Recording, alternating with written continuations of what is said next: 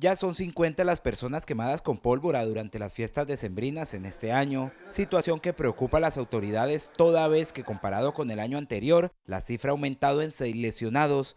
Cali, la ciudad que más casos registra en el departamento. Del primero de diciembre a la fecha tenemos 21 quemados, de ellos 8 niños el 24 amanecer 25 tuvimos 7 lesionados, todos adultos. Sin embargo, lo positivo en medio de las alarmantes cifras es que cada vez son menos los menores de edad quemados con pólvora. En Cali, desde el 7 de diciembre a lo que va corrido a la fecha, tenemos cero quemados por pólvora. Es una muy buena noticia que nos embalantona decirle a la ciudadanía de que sí podemos cambiar la historia de lo que ha pasado tradicionalmente en Cali. El llamado es a la conciencia para que durante este último fin de semana del año no se registren más lesionados. A todos los papás, a todos los acudientes, de que podemos cambiar la historia. O sea, para la muestra un botón, nos pusimos de acuerdo todos el 24 y 25 y no tuvimos niños quemados por pólvora.